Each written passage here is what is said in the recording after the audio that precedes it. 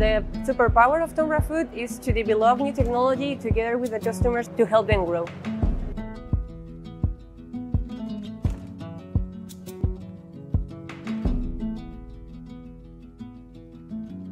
I'm Marina Morcillo. I work for Tomra Spain and I'm the one offering solutions to our customers depending on the product they want to sort. To be able to work with the people I met here, that's, they are always super nice and it's really good to be able to work with them.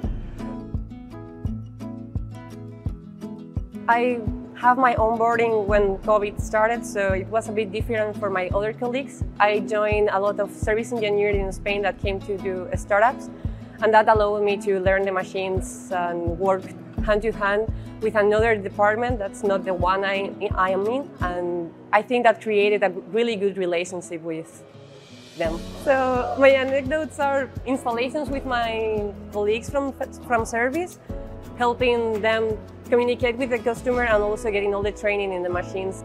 Every person counts.